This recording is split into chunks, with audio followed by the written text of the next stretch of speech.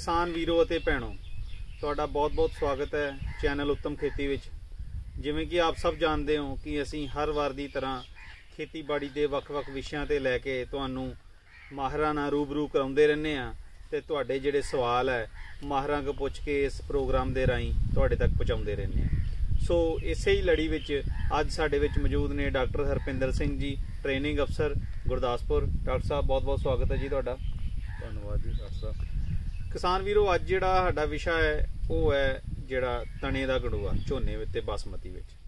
ਸੋ ਇਸੇ ਵਿਸ਼ੇ 'ਚ ਆਪਾਂ ਡਾਕਟਰ ਸਾਹਿਬ ਨਾਲ ਅੱਜ ਗੱਲ ਕਰਾਂਗੇ ਵੀ ਕੀ ਕੀ ਇਹਦੀਆਂ ਰੋਕਥਾਮ ਹੋ ਸਕਦੀ ਹੈ, ਕਿੰਨਾ ਕੁ ਸਾਨੂੰ ਖਤਰਾ ਹੈ ਇਸ ਕੀੜੇ ਤੋਂ। ਸੋ ਡਾਕਟਰ ਸਾਹਿਬ, ਮੇਰਾ ਪਹਿਲਾ ਸਵਾਲ ਇਹ ਹੈ ਵੀ ਜੋ ਹੁਣ ਮੌਸਮ ਚੱਲ ਰਿਹਾ ਹੈ, ਬੜੀ ਹੁਮਸ ਵਾਲਾ ਮੌਸਮ ਹੈ, ਗਰਮੀ ਹੈ ਹਿਊਮਿਡਿਟੀ ਕਾਫੀ ਹੈ, ਇਹ ਕਿੰਨਾ ਕੁ ਅਨੁਕੂਲ ਹੈ ਕੀੜੇ ਵਾਸਤੇ? ਹਾਂਜੀ ਡਾਕਟਰ ਸਾਹਿਬ, ਜਿਹੜਾ ਅੱਜ ਦੀ ਡੇਟ 'ਚ ਮੌਸਮ ਚੱਲ ਰਿਹਾ, ਕਿਉਂਕਿ ਸਾਰੇ ਸੂਬੇ ਵਿੱਚ ਵੀ ਸਮੇਂ-ਸਮੇਂ ਤੇ ਬਰਸਾਤ ਹੋ ਰਹੀ ਹੈ। ਜਿਹਦਾ ਕਰਕੇ ਟੈਂਪਰੇਚਰ ਵਿੱਚ ਟੈਂਪਰੇਚਰ ਵਿੱਚ ਵੀ ਬਹੁਤ ਉੱਪਰ ਥੱਲੇ ਹੋ ਰਿਹਾ। ਤੇ ਇਹੋ ਜਿਹੇ ਮੌਸਮ ਵਿੱਚ ਆਮ ਤੌਰ ਤੇ ਸਾਡੀ ਨਮੀ ਬਹੁਤ ਵੱਧ ਜਾਂਦੀ ਆ। ਸੋ ਨਮੀ ਵਧਣ ਕਾਰਨ ਕਈ ਵਾਰ ਟੈਂਪਰੇਚਰ ਮੇਨਟੇਨ ਨਹੀਂ ਰਹਿੰਦਾ ਤੇ ਕੁਦਰਤੀ ਤੌਰ ਤੇ ਜਿਹੜਾ ਕੀੜੇ ਮਕੌੜੇ ਆ, ਫਸਲਾਂ ਦੇ ਭਾਵੇਂ ਉਹ ਝੋਨਾ, ਬਾਸਮਤੀ ਆ ਜਾਂ ਹੋਰ ਫਸਲਾਂ, ਤੇ ਇਸ ਦੇ ਨਾਲ ਹੀ ਜਿਹੜੀਆਂ ਬਿਮਾਰੀਆਂ ਦਾ, ਆਪਣੀਆਂ ਫਸਲਾਂ ਤੇ ਆਉਣ ਦਾ ਖਦਸ਼ਾ ਬਹੁਤ ਵੱਧ ਜਾਂਦਾ। ਸੋ ਕਿਸਾਨ ਵੀਰਾਂ ਨੂੰ ਅਸੀਂ ਅਪੀਲ ਕਰਦੇ ਹਾਂ ਆਪ ਜੀ ਦੇ ਮਾਧਿਅਮ ਰਾਹੀਂ ਕਿ ਨਿਰੰਤਰ ਆਪਣੀਆਂ ਫਸਲਾਂ ਦਾ ਸਰਵੇਖਣ ਕਰਨ, ਕਿਉਂਕਿ ਜਦੋਂ ਵੀ ਅਸੀਂ ਆਪਣੇ ਫਿਰ ਖੇਤਾਂ ਵਿੱਚ ਨਹੀਂ ਜਾਵਾਂਗੇ,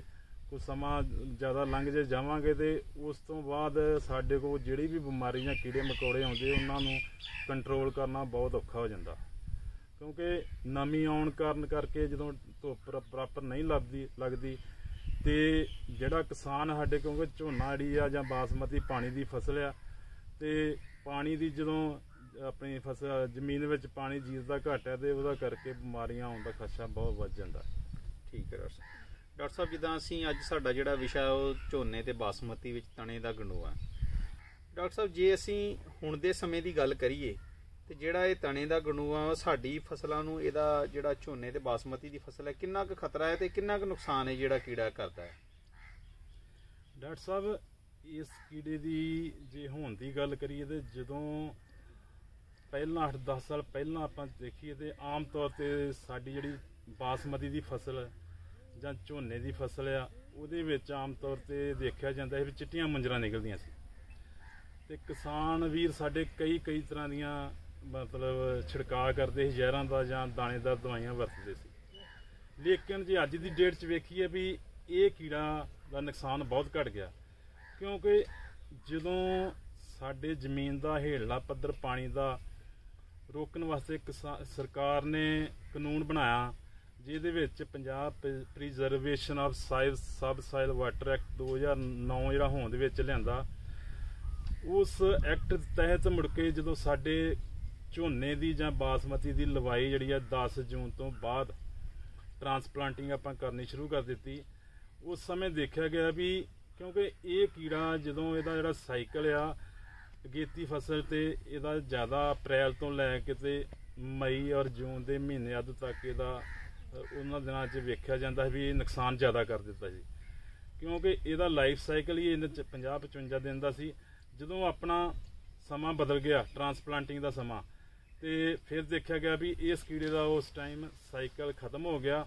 ਜੋ ਵੀ ਇਹਦੀ egg larva pupa adult stage ਸੀ, ਉਹ ਖਤਮ ਹੋ ਜਾਂਦੀ ਸੀ। ਤੇ ਉਸ ਸਮੇਂ ਜਦੋਂ ਆਪਾਂ ਝੋਨੇ ਦੀ ਲਵਾਈ ਜਿਹੜੀ ਬਾਸਮਤੀ ਜਾਂ ਭਾਵੇਂ ਪਰਮਲ ਦੀ ਯੂਨੀਵਰਸਿਟੀ ਦਾ ਸਿਫਾਰਸ਼ ਅਨੁਸਾਰ ਕਰਨੀ ਸ਼ੁਰੂ ਕਰ ਦਿੱਤੀ ਗਈ, ਤੇ ਇਹ ਕੀੜੇ ਦਾ ਜਿਹੜਾ ਨੁਕਸਾਨ ਸੀ ਬਹੁਤ ਘਟ ਗਿਆ। ਜਿਹਦਾ ਕਰਕੇ ਸਾਡਾ ਇੱਕ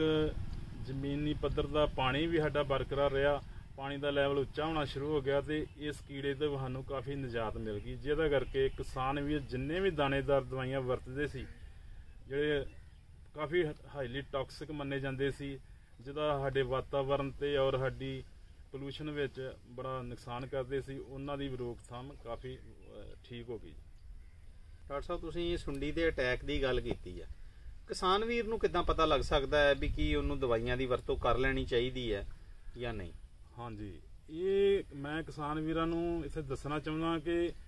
ਕਿਸਾਨ ਵੀਰ ਜਦੋਂ ਆਪਣੇ ਖੇਤ ਵਿੱਚ ਜਾਂਦੇ ਆ, ਜੇ ਉਹਨਾਂ ਨੂੰ ਨਜ਼ਰ ਆਉਂਦੀਆਂ ਵੀ ਜੇ ਪਰਮਲ ਦੀ ਫਸਲ ਆ, ਝੋਨੇ ਦੀ ਤੇ 5% ਜੇ ਗੋਭਾ ਉਹਨਾਂ ਨੂੰ ਸੁੱਕੀਆਂ ਨਜ਼ਰ ਆਉਣ, ਜਿਹੜੀਆਂ ਕਿ ਕਈ ਵਾਰ ਗੋਭ ਅਸੀਂ ਪੁੱਟ ਕੇ ਵੇਖੀਏ ਤੇ ਗੋਭ ਬਿਲਕੁਲ ਉਸ ਤਰ੍ਹਾਂ ਹੀ ਨਿਕਲ ਆਉਂਦੀ ਹੈ ਤੇ ਉਹਦੇ ਜਦੋਂ ਗੋਭ ਦੇ ਥੱਲੇ ਵੇਖੀਏ ਤੇ ਕੱਟ ਲੱਗਾ ਹੁੰਦਾ ਤੇ ਥੋੜਾ ਬੂਟਾ ਗਲਣਾ ਸ਼ੁਰੂ ਹੋ ਜਾਂਦਾ। ਉਹਦੇ ਵਿੱਚ ਸਾਨੂੰ ਜਦੋਂ ਅਸੀਂ ਗੋਭ ਨੂੰ ਕੱਟ ਕੇ ਵੇਖਾਂਗੇ ਤੇ ਉਹਦੇ ਵਿੱਚ ਸੁੰਡੀ ਵੀ ਨਜ਼ਰ ਆਏਗੀ। ਸੋ ਇੱਕ ਇਕਨੋਮਿਕ ਥ੍ਰੈਸ਼ਹੋਲਡ ਆ, ਜੇ ਅਸੀਂ 5% 100 ਵਿੱਚੋਂ ਜੇ 5 ਬੂਟੇ ਤੁਹਾਨੂੰ ਨਜ਼ਰ ਆਉਂਦੇ ਆ ਜਾਂ ਇਸ ਤੋਂ ਵੱਧ ਆਉਂਦੇ ਆ, ਤੇ ਅਸੀਂ ਝੋਨੇ ਦੀ ਜਾਂ ਪਰਮਲ ਦੀ ਫਸਲ ਤੇ ਫਿਰ ਛਿੜਕਾਅ ਕਰ ਸਕਦੇ ਆ। ਇਸ ਤਰ੍ਹਾਂ ਜੇ ਬਾਸਮਤੀ ਦੀ ਫਸਲ ਵੱਲ ਵੇਖੀਏ ਤੇ ਜੇ ਸਾਨੂੰ 2% ਗੋਭਾਂ ਨਜ਼ਰ ਆਉਣ ਸੁੱਕੀਆਂ ਜਾਂ 2% ਤੋਂ ਵੱਧ ਆਉਣ ਤੇ ਫਿਰ ਅਸੀਂ ਉੱਥੇ ਛਿੜਕਾਅ ਕਰਨਾ ਬਹੁਤ ਜ਼ਰੂਰੀ ਹੋ ਜਾਂਦਾ ਕਿਉਂਕਿ ਜੇ ਅਸੀਂ ਉਸ ਸਮੇਂ ਤੇ ਇਹਨਾਂ ਨੂੰ ਕੰਟਰੋਲ ਨਹੀਂ ਕੀਤਾ ਤੇ ਸਾਡਾ ਕਾਫੀ ਵੱਡਾ ਨੁਕਸਾਨ ਹੋ ਸਕਦਾ ਹੈ। ਸਭ ਜਦੋਂ ਅਕਸਰ ਸਵੇਰ ਸਾਰ ਨੂੰ ਅਸੀਂ ਖੇਤਾਂ ਵੱਲ ਵੇਖਦੇ ਆਂ ਤੇ ਆਪਾਂ ਦੇਖਦੇ ਆਂ ਵੀ ਖੇਤਾਂ 'ਚ ਜਾਲੇ ਲੱਗੇ ਨਜ਼ਰ ਆਉਂਦੇ ਆ ਮੱਕੜੀਆਂ ਨਜ਼ਰ ਆਉਂਦੀਆਂ। ਉਹਨਾਂ ਦਾ ਕੀ ਮਹੱਤਵ ਹੈ? ਮਤਲਬ ਕਿ ਉਹ ਸਾਡੇ ਲਈ ਫਾਇਦੇਮੰਦ ਹੈ ਜਾਂ ਨਹੀਂ? ਹਾਂਜੀ ਡਾਕਟਰ ਸਾਹਿਬ ਇਹ ਮਤਲਬ ਬਹੁਤ ਹੀ ਵਧੀਆ ਕੁਐਸਚਨ ਤੁਸੀਂ ਪੁੱਛਿਆ ਕਿਉਂਕਿ ਕਿਸਾਨ ਵੀਰ ਜਦੋਂ ਵੀ ਆਪਾਂ ਸਵੇਰੇ ਸਵੇਰੇ ਫੀਲਡ ਵਿੱਚ ਜਾਂਦੇ ਆ ਤੇ ਆ ਜਿਹੜੇ ਮਹੀਨਾ ਅਗਸਤ ਦਾ ਜਾਂ ਸਤੰਬਰ ਦੇ ਮਿਡ ਤੱਕ ਆਪਾਂ ਨੂੰ ਨਜ਼ਰ ਆਉਂਦਾ ਵੀ ਜਿਹੜੀਆਂ ਮੱਕੜੀਆਂ ਆ, ਕੁਦਰਤੀ ਤੌਰ ਤੇ ਵਿੱਚੋਂ ਹੀ ਪੈਦਾ ਹੋ ਕੇ ਤੇ ਸਾਨੂੰ ਦੂਰੋਂ ਵੇਖੀਏ ਤੇ ਜਾਲ ਜੇ ਨੈਟ ਜੇ ਬਣੇ ਨਜ਼ਰ ਆਉਣਗੇ, ਜਦੋਂ ਸਵੇਰ ਸਵੇਰ ਤਰੇਲ ਹੁੰਦੀ ਆ। ਸੋ ਇਹ ਮੱਕੜੀਆਂ ਜਿਹੜਾ ਸਾਡਾ ਬਹੁਤ ਵਧੀਆ ਕੰਮ ਕਰਦੀਆਂ, ਕੁਦਰਤੀ ਤੌਰ ਤੇ ਜੇ ਸਾਡੇ ਮਿੱਤਰ ਕੀੜੇ ਆ, ਤੇ ਇਹ ਜਿੰਨੇ ਵੀ ਆਪਣੇ ਵਿੱਚ ਕੀੜੇ ਪਤੰਗੇ ਆਪਾਂ ਨੂੰ ਨਜ਼ਰ ਆਉਂਦੇ ਆ, ਜਿਹੜੇ ਸਾਡੇ ਫਸਲ ਦਾ ਨੁਕਸਾਨ ਕਰਦੇ ਆ। ਉਹ ਵੱਖਰੀਆਂ ਵੱਖਰੀਆਂ ਸਟੇਜਾਂ ਤੇ ਭਾਵੇਂ ਜਦੋਂ ਕੋਈ ਵੀ ਕੀੜਾ ਐਗਲਿੰਗ ਸਟੇਜ ਤੇ ਹੁੰਦਾ, ਜਦੋਂ ਉਸ ਦੇ ਵਿੱਚੋਂ ਲਾਰਵਾ, ਪਿਊਪਾ ਬਣਦਾ ਜਾਂ ਫਿਰ ਪਤੰਗਾ ਬਣਦਾ, ਸੋ ਇਹ ਮਕੜੀਆਂ ਉਹਨਾਂ ਨੂੰ ਖਾ ਜਾਂਦੀਆਂ ਤੇ ਸਾਡਾ ਕੁਦਰਤੀ ਤੌਰ ਤੇ ਕੰਟਰੋਲ ਕਰਦੀਆਂ। ਇੱਥੇ ਮੈਂ ਇਹ ਗੱਲ ਦੱਸਣੀ ਚਾਹਾਂਗਾ ਵੀ ਜਦੋਂ ਕਿਸਾਨ ਵੀਰ ਸਾਡੇ ਬੇਲੋੜੀਆਂ ਜ਼ਹਿਰਾਂ ਭਾਵੇਂ ਉਹ ਸਪਰੇਆਂ ਦੇ ਰੂਪ ਵਿੱਚ ਵਰਤਦੇ ਆ, ਭਾਵੇਂ ਉਹ ਦਾਣੇਦਾਰ ਦਵਾਈਆਂ ਵਰਤਦੇ ਆ, ਜਦੋਂ ਉਹ ਆਪਾਂ ਅਨਸੈਸਰੀ ਜਿਵੇਂ ਆਪਣੀ ਫਸਲ ਤੇ ਪਾਉਣੇ ਆ ਕੀੜੇ ਨੂੰ ਰੋਕਣ ਵਾਸਤੇ, ਤੇ ਇਹ ਮਕੜੀਆਂ ਜਿਹੜੀਆਂ ਸਾਰੀਆਂ ਖਤਮ ਹੋ ਜਾਂਦੀਆਂ, ਜਿਹਦਾ ਕਰਕੇ ਸਾਡੇ ਮਤਲਬ ਇੱਕ ਤਾਂ ਸਾਡਾ ਫਾਈਨੈਂਸ਼ੀਅਲੀ ਲਾਸ ਹੁੰਦਾ ਤੇ ਇੱਕ ਸਾਡਾ ਬੇਲੋੜੀਆਂ ਸਪਰੇਆਂ ਕਰਕੇ ਸਾਡਾ ਵਾਤਾਵਰਨ ਪੋਲੂਟਡ ਹੁੰਦਾ। ਸੋ ਇੱਥੇ ਮੈਂ ਕਿਸਾਨ ਵੀਰਾਂ ਨੂੰ ਇਹ ਬੇਨਤੀ ਕਰਾਂਗਾ ਕਿ ਹਮੇਸ਼ਾ ਹੀ ਆਪਣਾ ਸਰਵੇਖਣ ਕਰਕੇ ਖੇਤ ਦਾ ਤੇ ਖੇਤੀਬਾੜੀ ਮਾਹਰਾਂ ਦੀ ਸਲਾਹ ਲੈ ਕੇ ਹੀ ਤੁਸੀਂ ਆਪਣੇ ਖੇਤ ਵਿੱਚ ਆਪਣੇ ਜੋ ਵੀ ਜ਼ਹਿਰਾਂ ਜਾਂ ਦਵਾਈਆਂ ਪਾਉਣੀਆਂ ਉਹਨਾਂ ਦਾ ਵਰਤੋਂ ਕਰ ਸਕਦੇ ਆ। ਡਾਕਟਰ ਸਾਹਿਬ ਜਿਵੇਂ ਤੁਸੀਂ ਜਾਣਦੇ ਹੋ ਵੀ ਪੰਜਾਬ ਸਰਕਾਰ ਵੱਲੋਂ ਕੁਝ ਕੁ ਜਿਹੜੇ ਪੈਸਟੀਸਾਈਡ ਨੇ ਉਹਨਾਂ ਤੇ ਜਿਹੜੀ ਹੈ ਰੋਕ ਲਗਾਈ ਗਈ ਹੈ। ਬਿਲਕੁਲ। ਇਹ ਜਿਹੜੀ ਇਹਦੀ ਵਰਤੋਂ ਤੇ ਵੀ ਅਸੀਂ ਗੁਰੇਜ਼ ਕਰਨਾ ਹੈ ਇਹ ਮਤਲਬ ਇਹਦਾ ਮਹੱਤਵ ਕੀ ਹੈ ਵੀ ਆਪਾਂ ਲ- ਇਸ ਤੇ ਕੀ ਫਾਇਦਾ ਹੋ ਸਕਦਾ ਹੈ ਕਿਸਾਨਾਂ ਨੂੰ ਇਸ ਬਾਰੇ ਦੱਸੋ? ਸੋ, ਡਾਕਟਰ ਸਾਹਿਬ, ਜਿਸ ਤਰ੍ਹਾਂ ਤੁਸੀਂ ਕੁਐਸਚਨ ਪੁੱਛਿਆ, ਇਹਦੇ ਵਿੱਚ ਇਹ ਹੈ ਵੀ ਸਾਡੀ ਜਿਹੜੀ ਬਾਸਮਤੀ ਦੀ ਫਸਲ ਆ, ਇਹਦੇ ਵਧੀਆ ਕੁਆਲਿਟੀ ਉੱਤਮ ਬਿਆਰ ਵਾਲਾ ਚਾਵਲ ਜਦੋਂ ਆਪਾਂ ਪੈਦਾ ਕਰਨੇ ਆ ਤੇ ਕਿਸਾਨ, ਆਪਣੇ ਕਿਸਾਨ, ਜਦੋਂ ਸਾਡੀ ਇਹ ਚਾਵਲ ਜਿਹੜੇ ਸਾਡੇ ਐਕਸਪੋਰਟ ਹੁੰਦੇ ਆ, ਖਾਸ ਤੌਰ ਤੇ ਅਰਬ ਕੰਟਰੀਆਂ ਜਾਂ ਹੋਰ ਯੂਰਪੀਅਨ ਕੰਟਰੀਆਂ 'ਚ ਜਾਂਦੇ ਆ, ਉੱਥੇ ਪਿਛਲੇ ਸਾਲਾਂ 'ਚ ਦੇਖਿਆ ਗਿਆ ਵੀ ਸਾਡੇ ਜਿਹੜੇ ਚੌਲਾਂ ਦੇ ਸੈਂਪਲ ਹੈ ਜਿਹੜੇ, ਉਹਨਾਂ ਵਿੱਚ ਕਈ ਤਰ੍ਹਾਂ ਦੀਆਂ ਦਵਾਈਆਂ ਦੇ ਅੰਸ਼ ਨਜ਼ਰ ਆਉਣੇ ਸ਼ੁਰੂ ਹੋ ਗਏ, ਜਿਹਦਾ ਕਰਕੇ ਸਾਡੀ ਬਾਸਮਤੀ ਦੀ ਕੁਆਲਿਟੀ ਦੇ ਬਹੁਤ ਹੀ ਵੱਡਾ ਅਸਰ ਪਿਆ, ਕਿਉਂਕਿ ਜਿਹੜੀ ਉੱਤਮ ਕੁਆਲਿਟੀ ਦੀ ਬਾਸਮਤੀ ਹੈ ਉਹ ਸਾਡੇ ਪੰਜਾਬ ਸੂਬਾ ਜਾਂ ਹੋਰ ਆਪਣੇ ਲਾਗਲੇ ਸੂਬੇ ਜਿਸ ਤਰ੍ਹਾਂ ਹਰਿਆਣਾ ਆ ਤੇ ਕੁਛ ਪਾਰਟ ਯੂਪੀ ਦਾ ਲੈ ਲਈਏ। ਤੇ ਇਸ ਤਰ੍ਹਾਂ ਜਿਹੜੀਆਂ ਪਾਕਿਸਤਾਨੀ ਬਾਸਮਤੀਆਂ ਪਹਿਲਾਂ 370 ਦਾ 386 ਚੱਲਦੀਆਂ ਸੀ ਪਾਕਿਸਤਾਨੀ ਦੇ ਨਾਂ ਤੇ,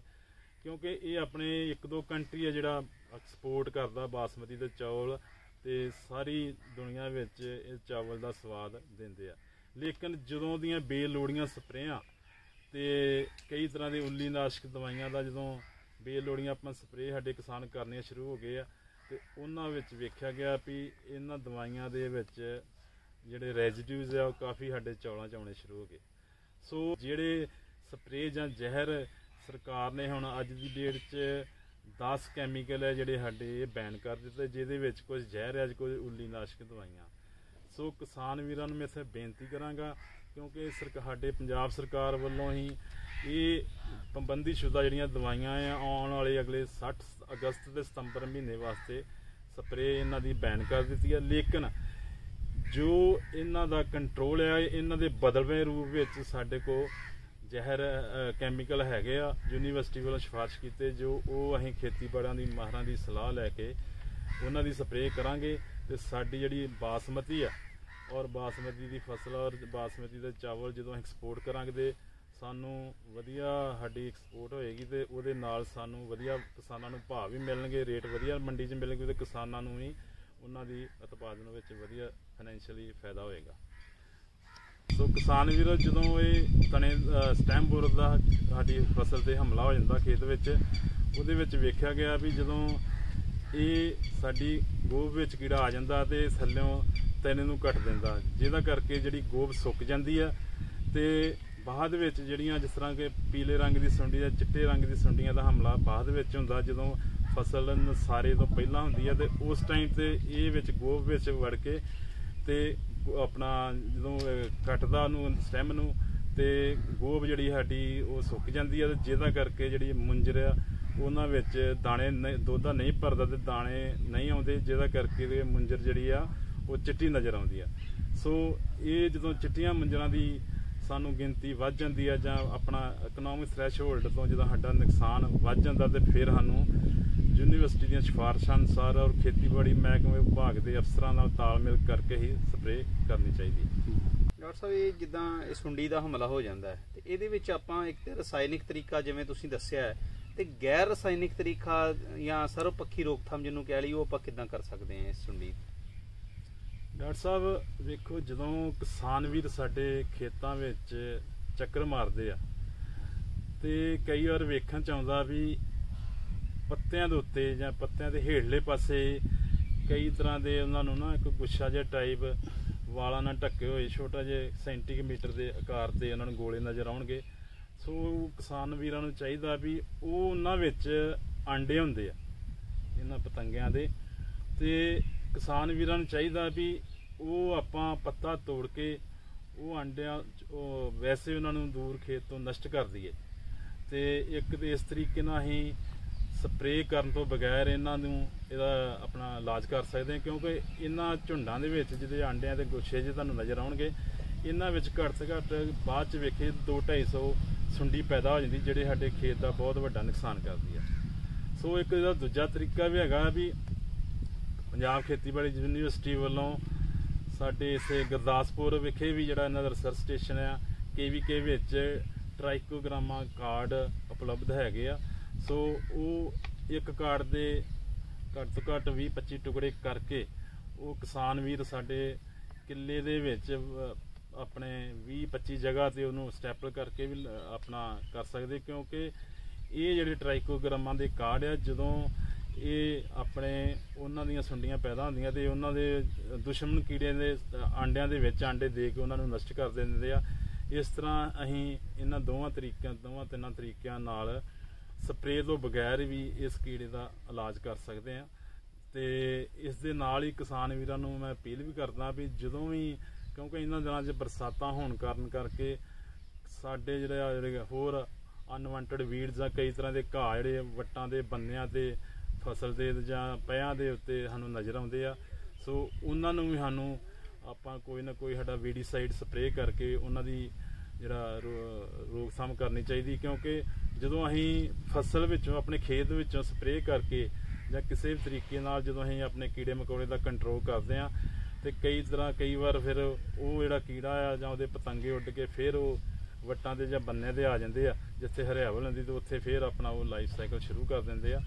ਤੇ ਇਸ ਦੇ ਨਾਲ ਵੀ ਇੱਕ ਬੇਨਤੀ ਮੈਂ ਹੋਰ ਕਿਸਾਨ ਵੀਰਾਂ ਨੂੰ ਕਰਾਂਗਾ ਕਿ ਯੂਰੀਆ ਦੀ ਬਹੁਤ ਹੀ ਲੋੜ ਅਨਸਾਰ ਆਪਾਂ ਜਿੰਨੀ ਰეკਮੈਂਡਡ ਡੋਜ਼ ਉਨੀ ਪਾਉਣੀ ਚਾਹੀਦੀ ਹੈ। ਕਿਉਂਕਿ ਆਮ ਤੌਰ ਤੇ ਵੇਖਿਆ ਗਿਆ ਕਿ ਜਿੰਨੀ ਇਹ ਯੂਰੀਆ ਆਪਾਂ ਆਪਣੇ ਖੇਤ ਵਿੱਚ ਲੋੜ ਤੋਂ ਰეკਮੈਂਡਡ ਡੋਜ਼ ਤੋਂ ਜ਼ਿਆਦਾ ਪਾਵਾਂਗੇ ਉਨਾ ਹੀ ਸਾਡਾ ਕਈ ਵਾਰ ਬਿਮਾਰੀਆਂ ਔਰ ਕੀੜੇ ਮਕੌੜਿਆਂ ਦਾ ਹਮਲਾ ਉੱਥੇ ਖੇਤ ਵਿੱਚ ਜ਼ਿਆਦਾ ਵੇਖਿਆ ਜਾਂਦਾ, ਜਿਹਦਾ ਕਰਕੇ ਸਾਡਾ ਮਤਲਬ ਸਪਰੇਆਂ ਦਾ ਖਰਚਾ ਵੱਧ ਜਾਂਦਾ। ਸੋ ਜਿੰਨੀ ਯੂਨੀਵਰਸਿਟੀ ਵੱਲੋਂ ਸਿਫਾਰਿਸ਼ ਕੀਤੀ ਜਾਂਦੀ ਹੈ ਝੋਨੇ ਵਾਸਤੇ ਜਾਂ ਬਾਸਮਤੀ ਦੀ ਫਸਲ ਵਾਸਤੇ, ਵੱਖਰੀਆਂ ਵੱਖਰੀਆਂ ਕਿਸਮਾਂ ਦੇ ਅਨੁਸਾਰ ਸਾਨੂੰ ਨਹੀਂ ਖਾਦ ਪਾਉਣੀ ਚਾਹੀਦੀ ਬਹੁਤ ਬਹੁਤ ਧੰਨਵਾਦ ਡਾਕਟਰ ਸਾਹਿਬ। ਸੋ ਕਿਸਾਨ ਵੀਰੋ, ਜੋ ਅੱਜ ਦਾ ਇਹ ਵਿਸ਼ਾ ਸੀ, ਅਸੀਂ ਉਮੀਦ ਕਰਦੇ ਹਾਂ ਕਿ ਇਹ ਤੁਸੀਂ ਆਪਣੀ ਖੇਤੀਬਾੜੀ ਵਿੱਚ ਜ਼ਰੂਰ ਲਾਗੂ ਕਰੋਗੇ ਤੇ ਆਪਣੀ ਖੇਤੀ ਨੂੰ ਹੋਰ ਲਾਹੇਵੰਦ ਬਣਾਓਗੇ ਤਾਂ ਜੋ ਤੁਹਾਡੇ ਖੇਤੀ ਦੇ ਖਰਚੇ ਵੀ ਘਟ ਸਕਣ। ਤੇ ਜਿਹੜਾ ਬਿਮਾਰੀਆਂ ਕੀੜਿਆਂ ਦਾ ਹੋਣ ਵਾਲੇ ਹਮਲੇ ਆ ਉਹ ਵੀ ਘੱਟ ਹੋ ਸਕਣ। ਸੋ ਡਾਕਟਰ ਸਾਹਿਬ ਦਾ ਵੀ ਮੈਂ ਬਹੁਤ ਬਹੁਤ ਧੰਨਵਾਦ ਕਰਦਾ। ਡਾਕਟਰ ਸਾਹਿਬ ਵਡਮੁੱਲੀ ਜਾਣਕਾਰੀ ਤੁਸੀਂ ਸਾਂਝੀ ਕੀਤੀ। ਸੋ। ਕਿਸਾਨ ਵੀਰੋ ਆਪ ਸਭ ਦਾ ਬਹੁਤ ਬਹੁਤ ਧੰਨਵਾਦ ਧੰਨਵਾਦ